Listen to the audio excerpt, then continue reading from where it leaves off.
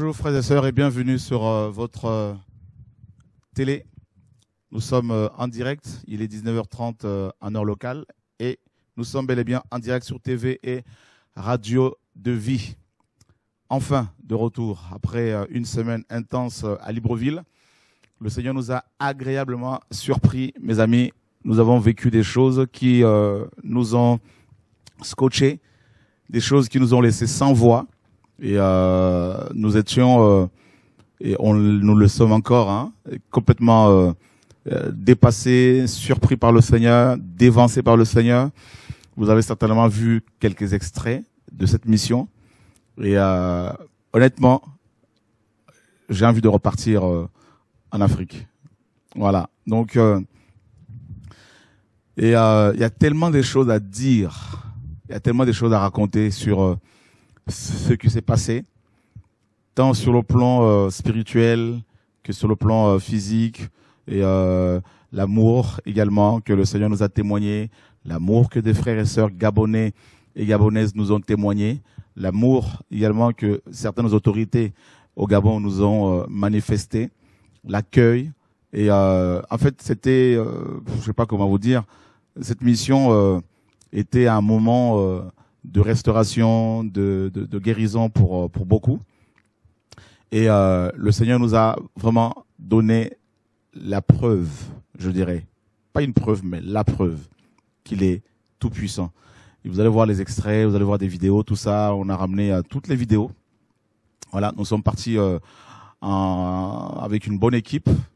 Et euh, voilà, vous allez voir vous-même entendre les témoignages vous-même des frères et sœurs. Et euh, une partie euh, des missionnaires est rentrée ce matin, une autre partie rentre et, euh, demain. Et mes amis, Dieu travaille et il revient. Honnêtement, le Seigneur revient. Et je voudrais, avant de lire cette parole dans Acte 1, dire merci à mon Père, à mon Dieu, à Yeshua, à notre Seigneur et Sauveur, pour sa sollicitude, pour son, son soutien, son amour. Et euh, le Seigneur nous a beaucoup, beaucoup encouragés, beaucoup soutenus. Et euh, voilà, je voudrais également dire un grand merci euh, aux frères et sœurs qui nous ont et euh, qui nous ont beaucoup encouragés. Et euh, honnêtement, mes frères et sœurs gabonais et gabonaises, soyez encouragés, soyez bénis.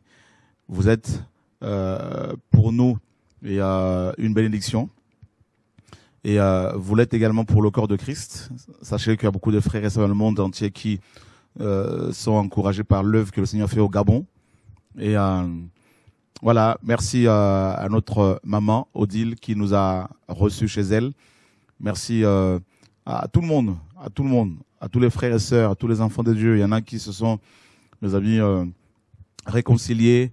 Et c'était un moment magnifique, particulier. Et on a hâte euh, de repartir et on, s'attend vraiment au Seigneur. Et je crois qu'il va de nouveau ouvrir une porte pour nous au, Gabon et euh, pour une future mission. Voilà. Et euh, merci également aux autorités gabonaises qui nous ont bien accueillis. Merci euh, et euh, aux autorités. Il y a une autorité, à deux autorités. Je ne citerai pas leur nom. Euh, voilà, parce que elles sont quand même bien, bien, bien connues, bien reconnues au niveau du pays et, il faut parfois protéger les gens. Et euh, voilà, qui nous ont beaucoup, beaucoup soutenus. Voilà. Donc, euh, c'est un, ce sont des frères, et un colonel et un général qui aiment le Seigneur, qui craignent le Seigneur. Et euh, donc, soyez encouragés, et euh, ainsi que vos femmes et d'autres frères policiers et soldats qui sont avec vous, qui nous ont accompagnés ici et là. Je pense à mon frère euh, Yves et, plein d'autres. Voilà. Donc, merci euh, aux anciens de Libreville, du Gabon, à ceux qui sont venus du Cameroun également pour cette mission, ceux qui sont venus de plusieurs provinces gabonaises. Voilà, donc euh, soyez tous fortifiés, encouragés. Je pense à, à vous tous. On va pas citer les noms parce que vous êtes tellement nombreux, mais soyez encouragés. Sachez que vous nous avez aussi marqués. Donc voilà, nous allons euh, prendre un passage dans le livre de, des Actes des Apôtres, au chapitre premier, chapitre premier, et euh, nous allons lire à partir du verset premier. J'ai fait mon premier livre au Théophile sur toutes les choses que Jésus-Christ commença de faire et d'enseigner jusqu'au jour où il fut enlevé au ciel après avoir donné par le Saint-Esprit ses ordres aux apôtres qu'il avait élus, à qui aussi, après avoir souffert, il se présenta lui-même vivant avec beaucoup de preuves sûres, se montrant à eux pendant quarante jours et leur parlant des choses qui concernent le royaume de Dieu. Et les ayant assemblés, il leur donna l'ordre de ne pas partir de Jérusalem, mais d'attendre la promesse du Père, ce que vous avez entendu de moi, car Jean a baptisé d'eau, mais vous, vous serez baptisés dans le Saint-Esprit dans peu de jours. Eux donc, s'étant réunis, l'interrogèrent en disant, Seigneur, est-ce en ce temps-ci que tu rétabliras le royaume d'Israël? Mais leur dit, ce n'est pas à vous de connaître les temps et les moments que le Père a fixés de sa propre autorité. Mais vous recevrez la puissance du Saint-Esprit qui viendra sur vous, et vous serez mes témoins, non seulement à Jérusalem, mais aussi dans toute la Judée et la Samarie, et jusqu'aux extrémités de la terre. Et après avoir dit ces choses, il fut élevé pendant qu'il il fut élevé pendant qu'il le regardait, et une nuée le prit et l'emporta de devant leurs yeux. Voilà, que le Seigneur soit béni. Et euh, je voudrais juste partager euh, avec vous sur euh, et, le fait d'être témoin, témoin de Yeshua. Juste une courte exhortation, et je crois que le Seigneur permettra dans les jours à venir de pouvoir faire un enseignement là-dessus. Voilà, être témoin. Nous sommes allés à Libreville, nous sommes allés bien avant Libreville en Centrafrique. Et euh, donc il y a eu d'abord la Centrafrique, il y a eu euh, le Maroc, où aussi euh, un jeune homme qui était sourd et a été guéri. Et un jeune homme sourd, mais de naissance, hein, que le Seigneur a restauré. Nous sommes allés ensuite à, au Gabon, comme, comme je l'ai dit tout à l'heure. Le Seigneur nous a encouragés, beaucoup encouragés. Donc, depuis quelque temps, Dieu permet à ce que nous soyons témoins d'un certain nombre de choses. Et nous ne pouvons pas ne pas euh, partager avec, avec vous ces choses-là. Nous, le fait, non pour euh, nous glorifier, mais vraiment pour donner toute la gloire au Seigneur parce que il est vivant. Voilà. Donc les apôtres étaient préoccupés, bien sûr, par euh, le rétablissement d'Israël. Effectivement, ils attendaient euh, il attendait depuis parce que les Juifs euh, croyaient que le Messie allait restaurer le royaume davidique euh, tout de suite. Ils pensaient que Yeshua, Yeshua, Jésus notre maître, allait chasser les Romains, parce qu'à l'époque, comme vous le savez, Israël était occupé par les Romains. Donc ils pensaient que le Messie allait chasser les Romains et restaurer Israël et euh, rendre à Israël sa gloire hein, d'antan. Eh ben non, ce n'était pas le cas. Le Messie est venu simplement. Il est rentré à Jérusalem non sur un cheval pour combattre, mais sur un âne, hein, humblement, pour se faire arrêter et exécuter. Alors, ils étaient un peu, même beaucoup, désemparés. Le Seigneur, trois jours après sa mort, il va ressusciter. Et pendant 40 jours, nous disent les Écritures, il va parler sur les choses concernant le royaume de Dieu et il va passer un peu sous silence la restauration physique d'Israël. Donc les apôtres étaient assez étaient beaucoup préoccupés par euh, cette question. Et ils vont justement euh, en faire part au Seigneur. Ils lui posent la question, mais quand est-ce que tu vas restaurer Israël en tant que nation? Quand est-ce que tu vas rendre à cette nation sa gloire, sa majesté, sa splendeur Et le Seigneur, justement, leur dit, ce n'est pas à vous, ce n'est pas à vous Hein, de connaître les moments et les temps que le Père, donc là, bien sûr, Yeshua qui parlait ici, c'est Yeshua homme. Et, euh, et, en tant que Dieu, bien sûr, il connaît le jour de son retour physique. Il dit, ce n'est pas à vous à chercher, hein, donc c'est pas de, à vous de connaître ce moment-là. Et euh, mais par contre, vous serez mes témoins. Voilà. Alors, c'est tout le mot témoin ici euh, signifie euh, euh, martyr, vous serez persécuté à cause de mon nom, vous serez rejeté à cause de mon nom. Alors, le terme grec euh, a plusieurs sens, et ce soir, je vais juste exhorter sur le sens, et euh, comment dire, historique. Et euh, être témoin, c'est être spectateur de quelque chose. Voilà, c'est assister à un événement ou à plusieurs événements.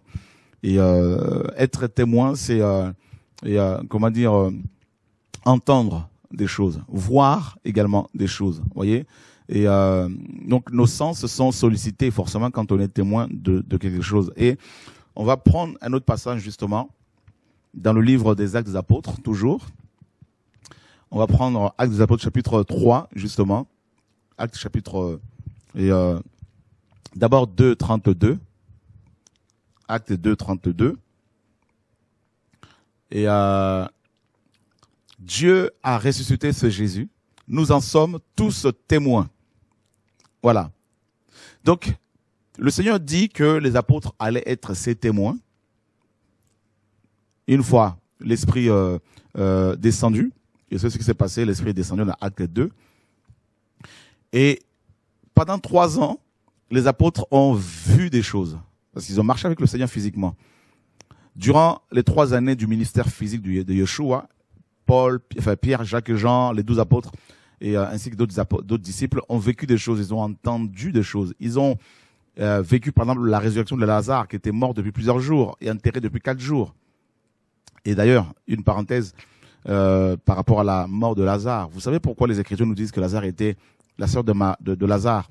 Euh, va dire au Seigneur, Seigneur, mais ça fait quatre jours qu'il est dans la tombe, il sent mauvais.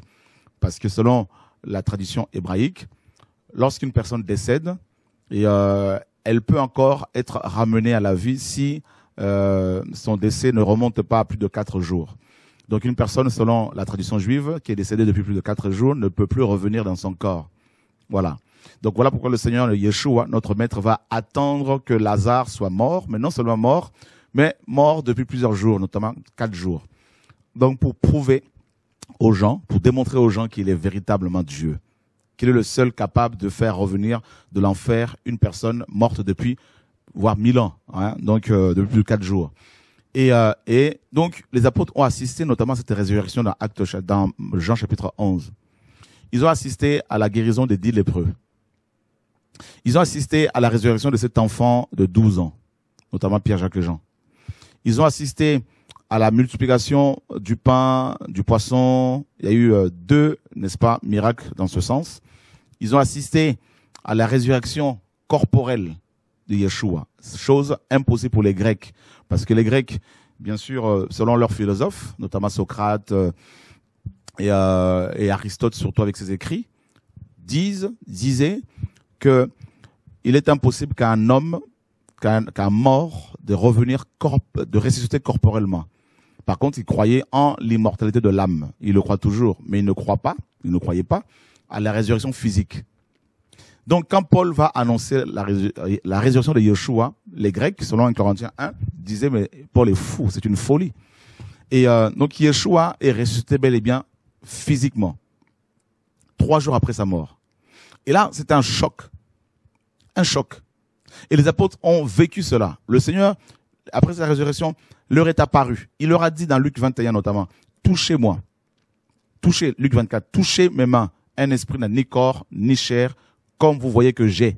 Donc ils ont palpé le Seigneur, ils ont touché son corps après sa résurrection. Voilà pourquoi Pierre pouvait dire ici, n'est-ce pas, dans Acte 2, 32, nous sommes témoins de sa résurrection. En fait, être chrétien, être chrétien, c'est être témoin de Jésus. Tout simplement. Parce qu'on a vu des choses, parce qu'on a entendu des choses, parce qu'on a expérimenté des choses. Être chrétien, ce n'est pas euh, le fait de dire, voilà, je, j'ai entendu des choses de la part des gens concernant ce Dieu. Non, c'est le fait de dire, Dieu m'a parlé. Bien sûr, il parle de différentes manières, et en songe, en vision, par la prédication, dans notre cœur, tout ça, par des convictions que l'on a, par rapport à notre péché, notre vie qui ne lui plaise pas, tout ça, nos vies qui ne lui plaisent pas. Et euh, donc il parle de plusieurs façons. Et être témoin, témoin, justement, c'est ça. Être témoin, c'est c'est le fait d'avoir entendu le Seigneur nous parler et le fait d'avoir vu des choses. Alors, je ne parle pas ici de, je ne vous demande pas d'aller chercher forcément voir des choses de manière physique, mais il faut voir avec son esprit. Dieu nous fait voir des choses en esprit, par la foi car nous marchons par la foi. Et sachez que euh, euh, en nous, il y a un esprit, donc l'esprit humain, l'esprit de l'homme. Et cet esprit, comme notre corps physique, a des oreilles, les oreilles sont spirituelles, a une bouche spirituelle, a des yeux spirituels, tu vois, des yeux spirituels, a aussi euh, euh une forme de toucher spirituel, voyez. Et, euh, et là, Pierre se lève devant les hommes ici, il y avait plus de 4000, plus de 5000 personnes. Il dit, nous sommes témoins de la résurrection de Yeshua. Voilà. Et nous sommes dans Actes chapitre 3, verset 15.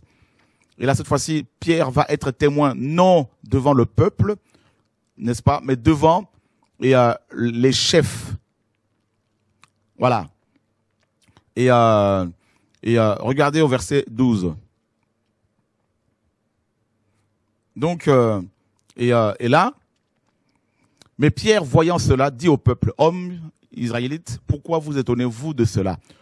Ou pourquoi avez-vous les regards fixés sur nous, comme si c'était par notre puissance ou par notre piété que nous, nous avions fait marcher cet homme?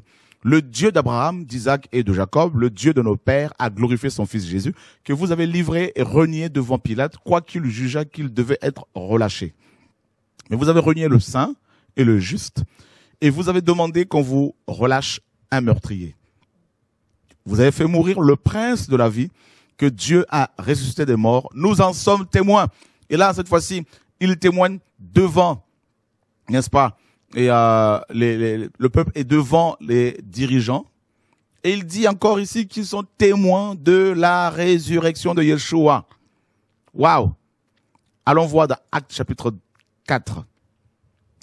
Acte chapitre euh, 5, pardon, 32. Acte 5, 32. Là, il se retrouve euh, devant le Sanhédrin, c'est-à-dire la haute cour juive, et euh, devant les chefs religieux notamment. Et qu'est-ce qu'il dit? Nous sommes témoins de ce que nous disons. De même que le Saint-Esprit que Dieu a donné à ceux qui lui obéissent en aussi, hein, en est aussi témoin. Waouh! Regardez le verset, euh, le verset 20. Et comment? Et, euh, Acte chapitre 4, je crois, au verset 20. Voilà. Regardez bien ici. Et euh, d'abord verset 18. Les chefs religieux appelle les apôtres et leur ordonne de ne plus parler ni d'enseigner en aucune manière au nom de Jésus. Donc la persécution. On vous interdit de parler du Seigneur. On vous persécute. On vous menace. On vous intimide. Et regardez la réaction des apôtres au verset 20, 19 et 20. Mais Pierre et Jean leur répondirent, jugez s'il est juste devant Dieu de vous obéir plutôt qu'à Dieu car nous ne pouvons ne pas parler de ce que nous avons vu et entendu. Voilà être témoin, c'est voir et entendre. Être témoin de Yeshua, c'est voir et entendre. Et ça, c'est ce qui manque à beaucoup. Beaucoup de gens se disent témoins du Seigneur, mais ils n'ont pas entendu. Ils n'ont pas vu. Alors, la moindre persécution, bah, ils baissent les bras. La moindre, euh, comment dire, menace de l'ennemi, bah, ils ne prient plus. Mais quand tu as, tu as entendu quelque chose, quand tu as vu quelque chose, ben, on peut plus te changer, te faire changer d'avis. Ce n'est pas possible. Voilà. Parce que j'ai entendu. Des gens me disent, frère, comment tu fais pour tenir? Mes amis, par la grâce de Dieu, j'ai vu des choses, j'ai entendu des choses. J'ai non seulement lu les Écritures, mais j'ai vu que ce que ce livre dit est vrai. Jésus est venu me voir, il m'a parlé. Alors, il y en a qui diront, ben oui, mais et nous alors, on veut aussi le voir pour qu'il nous parle. Mais ben, il nous parle aussi dans le cœur. Voilà, il est juste. Il nous parle, il parle à chacun de nous. Et euh, donc, il parle à chacun. Et, là, être témoin, c'est vraiment voir. Vous savez, on ne peut pas dire qu'une personne est témoin alors qu'elle n'a pas entendu euh, ni vu la chose pour laquelle elle doit témoigner. C'est impossible. Comment voulez-vous témoigner de Yeshua, de, Jésus-Christ, si il ne vous a pas touché, s'il ne vous a pas parlé? Alors, bien évidemment, vous allez témoigner de votre religion, de votre église, de votre dénomination, voire de votre prêtre ou pasteur ou prédicateur. Mais nous sommes, nous chrétiens, appelés à témoigner de Yeshua. Voilà. Voilà ce que la parole nous dit. Yahweh disait aux Hébreux, vous êtes mes témoins. Hein? Donc, euh, nous sommes aujourd'hui témoins de Jésus-Christ de Nazareth. Voilà pourquoi un chrétien, un vrai un chrétien authentique, ne fait que témoigner de Yeshua. Non seulement en parlant, mais par sa vie, par sa consécration, par son rejet du péché, par son rejet du racisme, tout ça, du tribalisme, de la haine, euh, du manque de pardon, par son, n'est-ce pas, par sa prise de position pour la défense de la sainte doctrine, par, n'est-ce pas, le fait qu'il rejette de manière catégorique la compromission, le péché, le mal, même si on le persécute, ce, chrétien-là, cette chrétienne-là, tient ferme parce qu'elle a vu. Cette femme a vu. Cet homme a vu. Elle a entendu. Vous savez, la parole nous dit dans Romains 10, 17 que la foi vient de ce qu'on entend. La foi vient de ce qu'on entend et ce qu'on entend vient de la parole de Dieu. Voilà. On ne peut pas naître de nouveau si on n'a pas entendu Dieu nous parler. C'est pas possible. C'est impossible. Voilà. Et euh, pourquoi est-ce que je tiens aujourd'hui malgré la persécution, malgré les critiques? Ce n'est pas parce que je suis meilleur que vous, parce que Dieu me donne cette force de le faire, parce que j'ai aussi entendu des choses, j'ai vu des choses, j'ai vu l'enfer plusieurs fois. Je sais qu'il y a une vie après la mort. Voilà. Je sais qu'il y a une vie après la mort, et cette vie, et euh, pour ceux qui sont dans le Seigneur, ben, la, la vivent au ciel, et ceux qui ne sont pas dans le Seigneur ben, se, se retrouvent sous terre, en enfer, provisoirement, en attendant d'être jugés lors du jugement dernier pour être jetés dans un étang, dans temps de feu pour l'éternité. Donc, on a vu des choses. Pourquoi est-ce que Dieu me donne, pourquoi, est-ce que je dénonce Babylone comme ça avec force? Parce que Dieu a permis que je passe par là. Voyez? Donc, Dieu nous appelle à être ses témoins et non les témoins d'une organisation religieuse. On peut, bien sûr, témoigner des frères et sœurs, euh, mais nous devons prioritairement témoigner, principalement témoigner de Yeshua, notre Dieu. Jésus est Seigneur, il est beau, il est amour. Comment voulez-vous parler de Yeshua en tant qu'agneau de Dieu si vous n'avez pas goûté l'agneau, si vous n'avez pas vu en esprit l'agneau? Comment voulez-vous parler de, Yeshua en tant que lion si vous n'avez pas expérimenté la puissance du royaume de Dieu? Comment voulez-vous parler de Yeshua en tant que votre amour, votre, votre chéri, votre bien-aimé, votre époux, comme la parole le dit, si vous n'avez pas expérimenté l'amour de cet homme, parce qu'il est aussi homme, 100% homme, 100% Dieu. Et euh, une femme amoureuse est une femme qui a entendu l'homme hein, de qui elle est amoureuse. Une femme amoureuse est une, femme euh, qui a vu l'homme de qui elle est amoureuse. Comment voulez-vous être amoureux du Seigneur pour parler de lui aux autres? Par votre comportement aussi et par hein, de manière, de manière euh, didactique si vous n'avez pas vu le Seigneur dans votre cœur. Je ne dis pas forcément qu'il faut le voir physiquement. S'il se révèle à vous physiquement, gloire à Dieu. Ça, c'est une grâce aussi. Et, euh, et euh, mais il se révèle en esprit parce qu'il est esprit au niveau de votre cœur, par des convictions. Voilà. Mes amis, cherchons à être témoins de Yeshua. Nous sommes allés à Libreville. J'ai été témoin.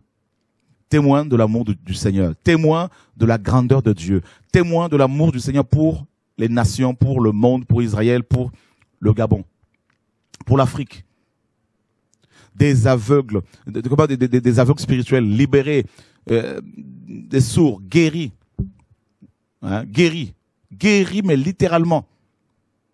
Et euh, des enfants de 10 ans possédés par les esprits de séduction, euh, de, de, de, de, sexe, de, de, sorcellerie, tout ça.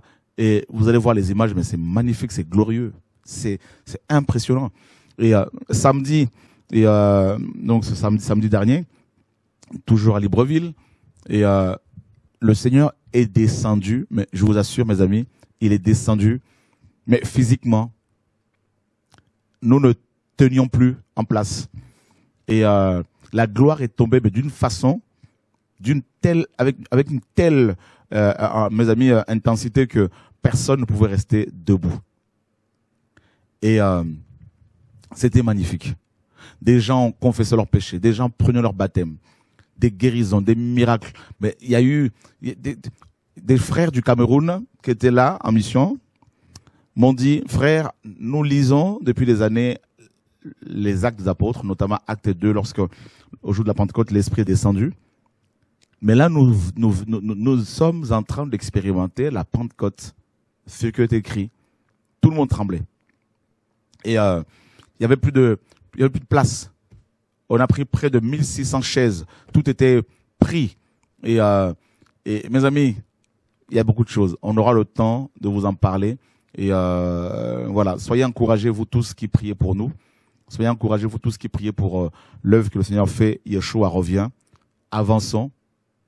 Au nom de Yeshua, main dans la main. On vous laisse avec ces extraits du Gabon. Au nom de Yeshua. À bientôt. Sors d'elle Sors d'elle Sors d'elle devant Sors Sors Sors. Sors. Au nom de Jésus. Allez, tu sors. Allez, tu sors. Esprit de surdité, sors au nom de Jésus. Quitte tes oreilles. Quitte tes oreilles. Quitte tes oreilles. Quitte tes oreilles. Maintenant, maintenant, maintenant. Chassons ce démon. Jesus. Sors. Sors, sors, sors. Sors. Maintenant, maintenant. Maintenant. Maintenant. Maintenant.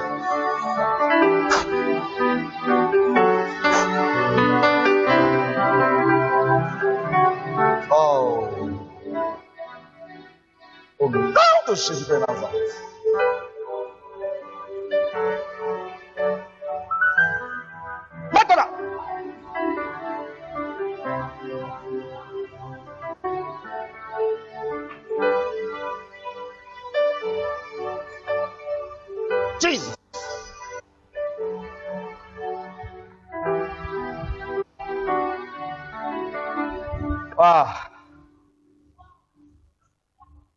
Oh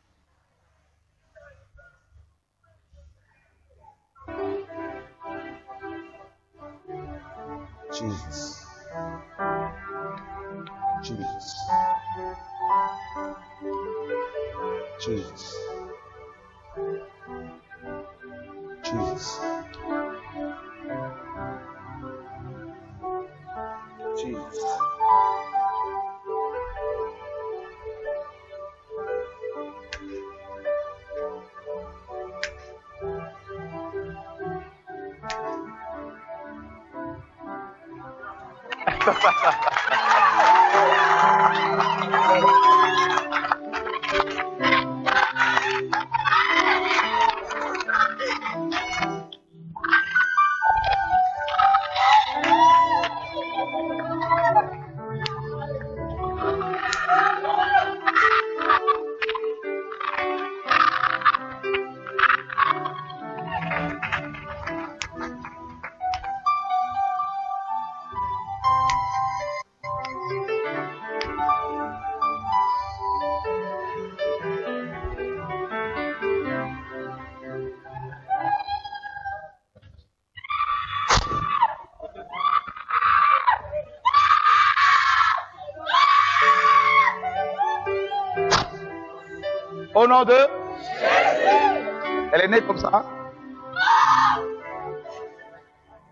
Oh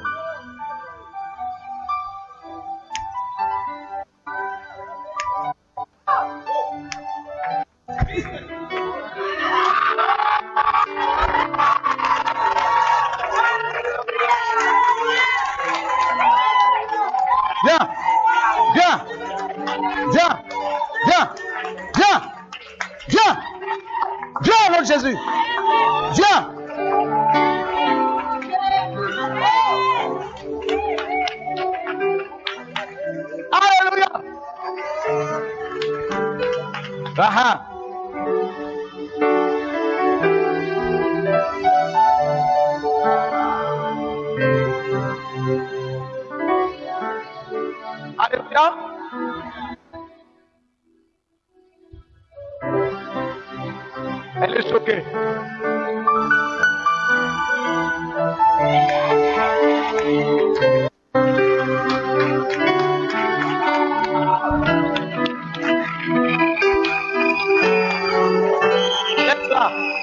tá.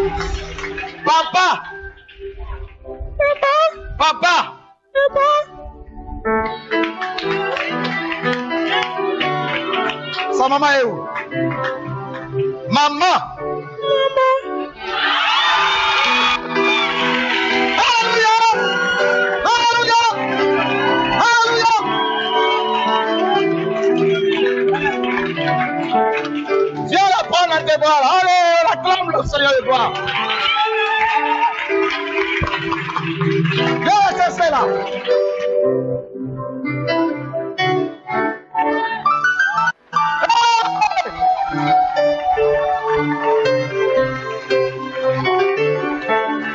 chant de louange, un chant de louange à la gloire de Jésus. Un chant de louange. Tout le monde debout. Tout le monde debout.